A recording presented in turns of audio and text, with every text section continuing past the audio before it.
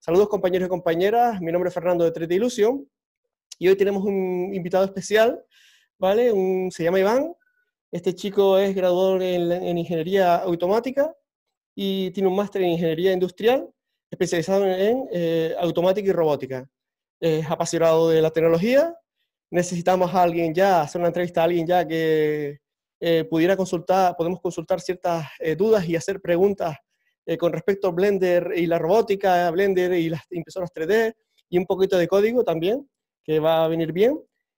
Iván tiene un canal, ¿vale? Se llama Piensa en 3D, bastante, bastante bueno, tiene muchísima información, que se puede aprender muchísimo con ese canal relacionado a la electrónica, la robótica y el tema de lo que es la ingeniería, ¿no? su canal tiene más de 9.000 suscriptores, hay que echar un vistazo obligatoriamente, ¿vale? Bueno, aquí tenemos a Iván. ¿Qué tal, Iván? ¿Cómo estás? Muy buenas, ¿qué tal, Fernando?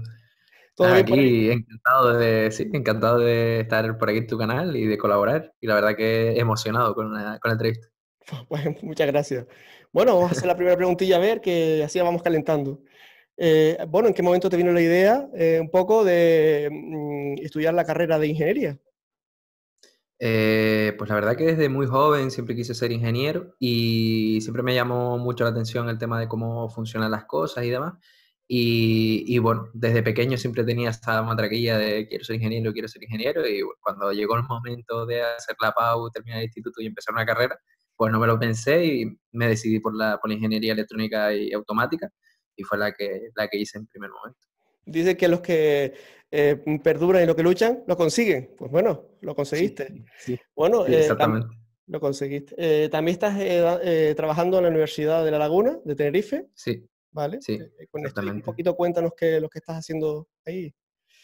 Pues básicamente ahora estoy haciendo mi tesis doctoral con un, con un contrato con cargo a proyecto y el proyecto que estoy realizando con, conjunto con mi tesis es el estudio de vocalizaciones de cetáceos, entonces lo que hago es crear electrónica para poder grabar eh, a los cetáceos en el mar y, son como unos aparatitos, unos micrófonos especiales que se llaman hidrófonos, lo metemos en el agua y lo que hacemos es detectar esas vocalizaciones y ver cómo eh, varía el comportamiento de los cetáceos dependiendo de pues si pasan barcos cerca, si hay muchos ruidos y bueno, dependiendo de las condiciones últimamente se estaban, eh, habían problemas de eh, muchos animales varados en las eh, orillas de las playas, todos en las islas, y decían que era por causa de la contaminación acústica, ¿puede ser? ¿O se puede llamar así? En, Sí, exacto, contaminación acústica por el tema de bueno, los barcos que pasan cerca, también por el tema de los plásticos. muchas ballenas ingieren plásticos y al final acaban muriendo y eh, por barcos que pasan literalmente por encima de, las ballenas y las partes por la mitad. Gracias por aportar y ayudar en ese trabajo, la verdad que sí. Eso intentamos. Bueno, si, y si tú eh, mm, tuvieras una cámara y pudieras ver el pasado, eh, ¿qué le preguntarías al Iván? De, ¿Qué le ayudarías o qué le dirías al Iván o consejo le darías al Iván de hace un par de mm. años, cuando estaba en el instituto? Probablemente le diría que, que no se rindiera, que al final las cosas llegan y que se lo tomara con calma también eh, tomarlo con calma a la vez que, esa parte de no rendirse, pero tranquilito, disfrutando del momento. Lo que quieres un poco, lo que quieres decir es que a veces uno quiere ir más rápido de lo que debería, ¿no? De lo que puedes, sí, intentas ir más allá de lo que realmente puedes y eso únicamente es objeto de que te frustres y que las cosas no salgan. Mm.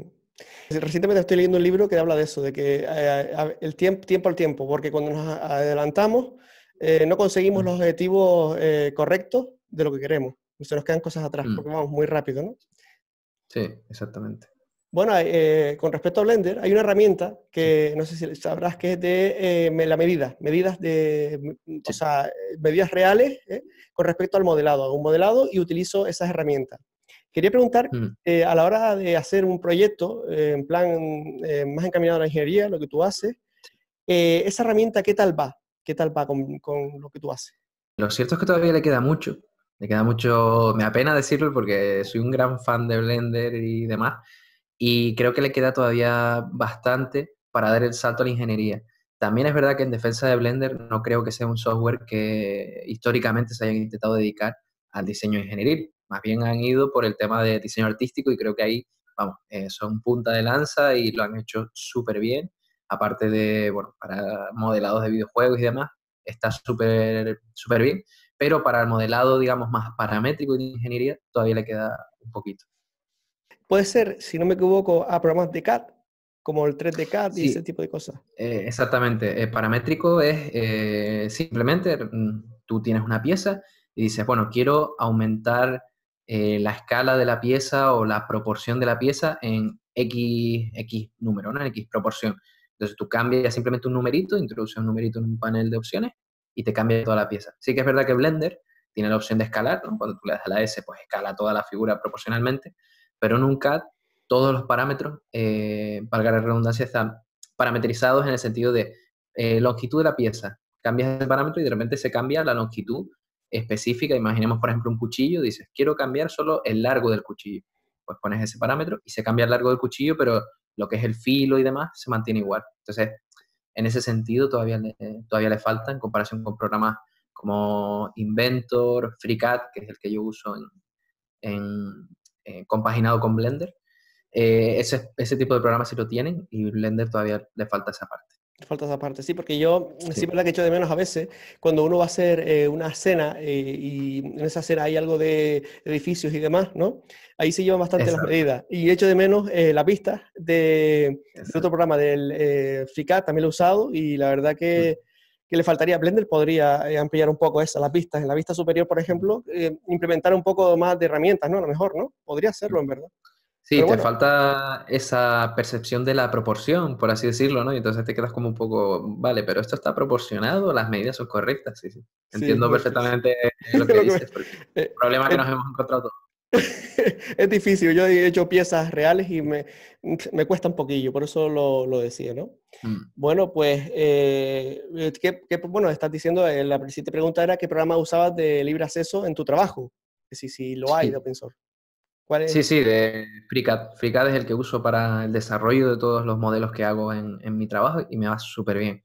Lo usé también en el desarrollo de mi trabajo de final de máster y, ha ido súper, súper bien. Yo empecé a usarlo en la 0.15, ahora van por la 0.17 en estable y va súper bien. Entre la 0.16 y la 0.17 ha habido un cambio de paradigma de cómo se diseñan las piezas, eh, pero creo que es totalmente acertado y la verdad que va, va de lujo. Con la impresora 3D y demás va, va perfecto. La fabricación va súper bien. Para hacer planos también, hay algunos plugins para poder generar los planos esta parte de la ingeniería parece que no, pero hoy en día todavía se sigue llevando el tema de generar planos y es importante para entregar un proyecto y sin ningún problema. La verdad que perfecto.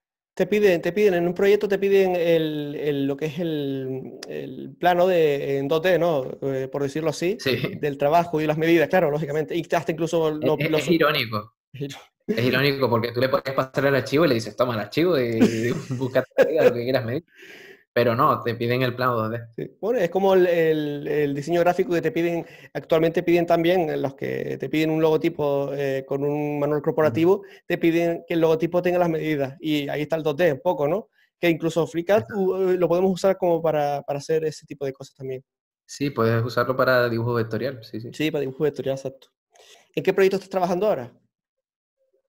Eh, ¿Proyecto personal o proyecto...? Eh, bueno, vamos a ver, si tiene dos, bueno, me, ha gustado, he visto que tiene dos proyectos, bueno, pues nada, a decirlo. El primero, de proyecto profesional y después proyecto personal. Eh, mi proyecto profesional y es, profesional personal y después hay uno personal, que sería la tesis, la tesis doctoral, ¿no? Que es parte de mi trabajo y parte también en mi beneficio, ¿no? De, para poder convertirme en doctor en ingeniería y eh, que ya es lo que comentaba antes, ¿no? El tema de los cetáceos y demás. Y como proyecto personal, pues tengo Piensa 3D, que, es el canal, y siempre tengo muchos subproyectos, ¿no? Tengo por ahí un generador de presupuestos automático para impresión 3D, que en función del tamaño de la pieza y el material y demás te dice, te genera una factura de, de cuánto dinero te saldría imprimirlo. Eh, luego por ahí también tengo algún eh, mini videojuego que estaba haciendo en, en Godot y también lo tengo por terminar y en general esos proyectos relacionados con, con, la programación y sobre todo también con el hardware. Eh, proyectos estos de comunicaciones, establecer enlaces y a lo mejor con cacharritos muy, muy básicos intentar eh, establecer un radioenlace y enviar una imagen o cosas así. Proyectillos que, se me van ocurriendo y son los que, Bueno, hablamos de que Steve Jobs empezó en un garaje.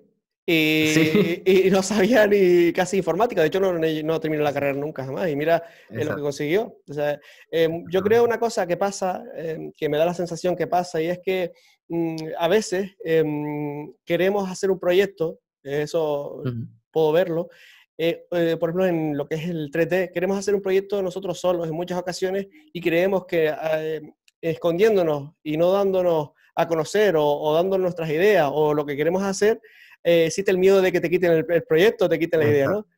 Pero eso no, es la realidad. La realidad, para que tú crear un proyecto en condiciones, un proyecto que abarque, deben de estar eh, mm. muchas personas eh, en el proyecto, ¿no? Mm. No, yo en ese sentido sí que tengo la fortuna de colaborar con gente. De hecho, lo del garaje me resulta curioso porque yo formo parte de un makerspace que se llama Orotabas Hackerspace, que literalmente es un garaje donde tenemos impresoras 3D, máquinas de control numérico, cortadoras láser y colaboramos en este tipo de proyectos, en el desarrollo de estos proyectos. Y la verdad que es, genial y a cualquiera que tenga un makerspace cerca, le recomiendo que se apunte porque aprendes un montonazo de tus compañeros y compañeras y te ayudan. Eh, o sea, es esa cosa de tú vas con tu idea y nadie te la va a robar, te van a ayudar a llevarla al siguiente nivel. Entonces eso es, eso es la leche. Me alegro de que eso sea así y que esas comunidades sean así. En otros ámbitos, en otras profesiones sí es más difícil, que haya más comunidades, hay más competencia. Pero mm, mm. cuando, hay poca demanda, ¿sabes? Cuando existe poca demanda de algo, eh, suele haber más problemas. Pero bueno, eh, siempre y cuando hay que, colaborar ¿no? con todo el mundo. Bueno, eh, como eres también bastante, conoces bastante las impresoras 3D, ¿qué impresora nos recomiendas eh, que funcione, eh, bueno, yo diría con Blender, pero bueno, vamos a ver que a lo mejor no hace falta que sea... con Blender sí, yo creo que se funciona. Eh, si quieres, bueno, te la puedo enseñar, tengo que ir. ¿Sí? si le doy la vuelta a la cámara, yo creo que te la enseño. Está aquí. Vaya máquina. Sería una prusa, una prusa de Festos, sí. Es la, la de BQ, básicamente. Ah. Y, y, bueno, la prusa de Festos i3, que va súper, súper bien. Va, va genial. Me pongo aquí la cámara otra vez va genial y considero que, es una impresora tanto para expertos como para gente que, está empezando bastante buena.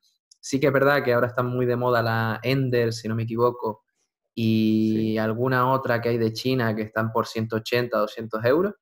Está muy bien, eh, no me malinterpreten, la verdad que están muy bien, pero yo me, quedo más con, con, el desarrollo que ha hecho Prusa, porque la verdad es que considero que en cuanto a investigación han avanzado muchísimo y las impresoras eh, tienen muchísima documentación en Internet y eso lo valoro muchísimo. O sea, si estás empezando y no sabes cómo montar una prusa, imagina que la puedes comprar montada también, pero imagina que la compras desmontada porque la quieres montar tú, pues en Internet tienes porrones y porrones de información con respecto a la impresora. Entonces eso lo valoro mucho y la verdad que yo la tengo aquí en casa y no me, no me ha fallado casi nunca, casi nunca.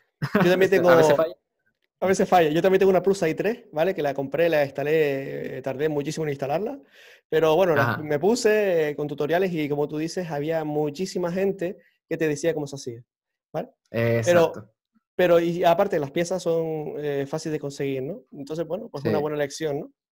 Eh, mira, pensaba que ibas a decir otra más industrial, pero mira, has, tirado por, por una, eh, yo diría que es el open source de, de las impresoras 3D, ¿verdad? Sí, sí, sí, sí. De hecho, es la misma que tengo en mi trabajo. O sea, en mi puesto de trabajo tengo la misma impresora. pues hay que comprársela. Señoras, hay que comprarse una impresora igual porque si la tienen en la universidad, eso funciona. sí, sí. Eh, otra pregunta, bueno, ¿cómo funcionan las impresoras 3D para aquellas personas que no conozcan mucho? Porque hay una duda eh, bastante amplia en eso, ¿vale? Y mm, sería bueno que, que, dijeras para aclarar qué es una impresora 3D y cómo ah, funciona.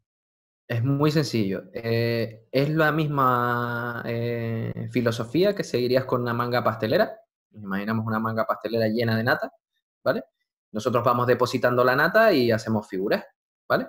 En este caso, la impresora 3D, en vez de usar nata o un material líquido, usa un plástico en estado sólido que pasa por, un, por lo que se conoce como un extrusor y una, un hot end, que es básicamente un tubo que está a una temperatura determinada para que se derrita ese plástico sin llegar a perder sus cualidades cuando se enfríe. Entonces, vamos calentando ese plástico y vamos depositándolo para crear una pieza. El símil perfecto sería como chocolate fundido. En vez de una manga pastelera de nata, una manga pastelera de chocolate fundido que posteriormente se va a solidificar. Entonces vamos depositándolo y vamos creando esa figura para arriba. Por eso vemos las impresoras 3D que se van moviendo para arriba y luego pues terminan, terminan la pieza. Muy bien, es básicamente yo creo el resumen de cómo funcionaría así para alguien que no entiende de tecnología ni de... Correcto. Pues, eso es lo que quería, un poco, un poco eso, porque había eh, muchas personas también que, que quisieran, eh, o sea, cuando no comprendes no lo ves, entiende cómo funciona y, y, a lo mejor te apasiona, no se sabe. Exacto. Eh, hay una cosilla también, Blender, en su, para, al exportar archivos, exporta gran multitud de archivos, entre uno de ellos el, el archivo STL, que eh, lo que hace es em, transformar, si no me equivoco, eh, el archivo eh, de un modelo que hemos hecho por capas para que la impresora pueda leerlo y así trabajar multicapas como hace lo que es la impresora 3D. Creo que es algo así, ¿no? Lo que hace el STL... Bueno, perdón, no sé, no, sé si habéis terminado la sí, no, lo que hace el STL es mm, configurar puntos. Básicamente convierte el objeto a una malla más simple. Eh, lo hace como una malla más simple. Para configurar la impresora necesitarías pasar por un programa intermedio. Eh, este es un tema curioso, lo del STL, porque yo soy bastante enemigo del formato STL y me gusta mucho el formato OBJ, por ejemplo. Si puedes exportar o le vas a exportar un modelo para pasárselo a alguien eh, que quieres imprimir en 3D, mejor pasarlo en OBJ. ¿Por qué?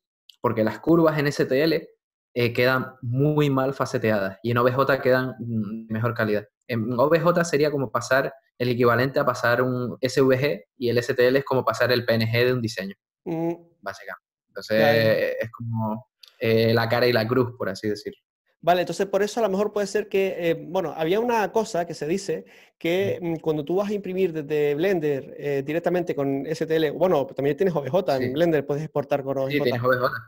Eh, no sé, necesitarías también un programa intermedio, ¿verdad? Entre lo que es el Blender Siempre, ¿verdad? No, no se Pero lo mismo, lo mismo pasa con FreeCAD y todos los demás ah, programas. ¿eh? Vale, no sabía, que, no sabía que siempre... ¿Y eso por qué? Sí, sí, necesitas eh, generar lo que se conoce como un G-code. Vale. Y el G-code siempre depende de la máquina. Esto es igual con las impresoras 3D, con las máquinas de control numérico, con las cortadoras láser. Siempre necesitas generar un... Pro, o sea, necesitas un programa que te genere las instrucciones intermedias entre el archivo que tú tienes y la máquina. ¿Por qué? Porque no todas las máquinas son iguales y no todas las impresoras tienen las mismas dimensiones. Entonces el programa tiene que calcular, imagínate que tienes una prusa. En el taller de nosotros, por ejemplo, tenemos una prusa XL que tiene la cama el doble de grande. Entonces, claro, no puedes imprimir una pieza de la prusa XL en esta prusa porque la cama es la mitad de pequeña. Entonces, te diría, oye, el programa te diría, no puedes hacerlo. Entonces necesitas generar ese archivo conocido como G-code, que básicamente lo que hace es poner las instrucciones para que la máquina se mueva y pueda, pueda hacer la pieza. pues muy bien, muy bien. Una cosa que no entendía y bueno, se, se, aprende, ¿no? Sí. Eh, hay una cosa que también em, se puede, eh, es decir, eh, también puede ser algo importante. Hay algo que también en la actualidad está la robótica. Eh, actualmente mm, muchas empresas, por ejemplo, em, Nvidia está em, abonando muchísima cantidad de dinero para el tema de la robótica y la inteligencia artificial, ¿no? Pero un poquito con eso y con la robótica que tú haces relacionado con Blender, pues se podría generar un movimiento a través de Blender eh, para mover eh, una pieza robótica o eh, algo que se mueva dándoles órdenes desde Blender? ¿Se podría hacer? Sí, sí, sí, se puede hacer y la respuesta sería el usar la API que tiene con Python. Mm. de hecho, lo he visto, lo he visto hacer. Y es simplemente mandar, creas un servidor, un cliente servidor, donde el, el, cliente sería en este caso el brazo robótico, lo que quieras mover, y el servidor sería Blender y simplemente lo que haces es mover la pieza en Blender, el brazo robot en este caso, y verías moverse el brazo real. simplemente tendrías que trabajar en el protocolo de comunicación y de cómo se está moviendo una pieza y otra, y también asegurarte de que un movimiento generado en el programa no va a generar un choque o alguna situación peligrosa en el brazo robot real. Ah, bueno, pues, pero entonces, mm, vale, perfecto. Pero lo que quería comentar también, una cosa curiosa, es, decir, eh, podríamos, se podría utilizar de manera profesional. Es decir, yo podría generar ese movimiento grabado eh, como los videojuegos. ¿Sabes que si tú haces, mm, haces un rig? Ah, sí. Exacto, apretas el A y te hace ese movimiento automático. Se podría automatizar. sí. Sí, sí, digamos que lo único que tendrías que hacer en este caso entonces sería como una especie de traductor, en plan, tú haces la animación, lo que tú dices, de que quiero que hagas esta animación, y luego pues tienes un programa intermedio que te lo traduce al lenguaje del robot y ya la tienes guardada. Dices, bueno, pues esta animación que yo te he dicho para que aprendas, te la guardo en las coordenadas del robot para que cuando yo quiera la vuelvas a ejecutar. Sí, sí, se podría. Se, podría hacer. O sea, quiere decir que Blender podría tener muchas más posibilidades de las que vemos, ¿no? Eh, a la hora de, sí, sin duda de ver, ¿no? Esto, esta parte sí que la he tenido bastante presente y he querido recalcarla contigo, que tienes bastante experiencia en esto, y, creo que es algo que deberíamos de también em, ver que podemos usarlo para hacer eh, ciertas cosas eh, predeterminadas y grabadas, ¿no? Según me estás comentando, ¿eh? está, muy bien, la verdad. Vale, otro, la verdad que eso es buenísimo. ¿Qué consejos le darías a todos aquellos que quieren hacer una carrera? ¿Qué consejo le daría? Pues probablemente paciencia y perseverancia. Paciencia y eh, perseverancia. el, mismo consejo que te diste a ti mismo. Sí, exactamente. El mismo consejo que me di a mí mismo se lo daría a la gente, sí, sí. Bien, para, para todos aquellos que no entiendan, eh, Godot, eh, bueno, Blender tenía un, en sus anteriores versiones, tenía un motor de juego, ¿vale? Que ha dejado de estar con Blender porque ya en la versión 280 ya no existe, lo han dejado de trabajar, y eh, muchos componentes que participaban en la creación de ese juego han creado un nuevo, un nuevo motor de juego que se llamaba eh, Godot, ¿vale? Eh, y está actualmente, incluso dice que está incluso hasta más potente que cuando estaba con Blender. ¿Cómo, cómo ves eso? la verdad que yo suscribo esa, esa, afirmación porque la verdad que me, me, he pasado a hacer jueguitos en Godot y es una pasada. O sea, es una pasada porque puedes hacer los scripts muy rápido eh, sí que es verdad que para mí la fastidiaron un poco en intentar eh, usar su propio lenguaje de, programación, que lo llaman GDScript. Pero bueno, también es verdad que pillas muy rápido las cosillas del lenguaje, pero tienes que estar todo el rato googleando cómo se hacen ciertas cosas, ¿no? Porque, bueno, sabes muy bien la sintaxis que usan y demás, entonces es un poco, un poco extraño, pero súper potente. O sea, a mí Godot me encanta, me ha sorprendido muchísimo. Mm, sí que es verdad que en el 3D le encuentro un poco de mm, lag, latencias raras que no me gustan, pero en el 2D va finísimo y, me encanta, la verdad, como motor de juegos, chapo. Qué bueno, pues mira, pues ya está bien que este, lo, lo aconsejo, bueno, de hecho, casi todos los forofos y todos los que eh, les encanta Blender, eh, lo primero que mm. han hecho es irse a Godot porque eran las, muchos organizadores se metieron en Godot. Entonces es como, eh, esto es de Blender, no de Blender. Lo que sí es bueno es que te regala el código te regala el código para que lo trastee. Exactamente, eso sí. Y tiene un montón de proyectos de ejemplo y demás, entonces es una, pasada. De hecho, en tu canal ahí vi uno que tenías de Godot, sí, Tengo varios vídeos de Godot, sí, sí, sí. Probándolo y fueron como los primeros vídeos familiarizándome con él. Y hice un juego súper sencillo que a la gente le, le, moló un montón, que era como escapar de unos zombies y tal. Y, y un juego súper chorra pero que lo hice, vamos, lo hice en dos tardes y la verdad que obtienes resultados súper rápido. Está bueno, eres un artista. eh, viene la cosilla aquí, después hay otro puerto de los códigos que es el Python que usa eh, Blender, ¿no? Para funcionar, usa el código Python. Eh, ¿Cómo lo ves para realizar add-ons? Porque hay una eh, nueva etapa de Blender también, que mucha gente bueno, mucha gente no, muy poca gente, porque poca gente conoce eh, mm, la realización de hacer códigos y, por mm. computacional. Eh, el caso es que mm, eh, creo que está en auge el, hacer ahora mismo add-ons para Blender, ¿vale? Un poco en eso, ese es el caso. ¿Cómo lo ves el Python para, para eso?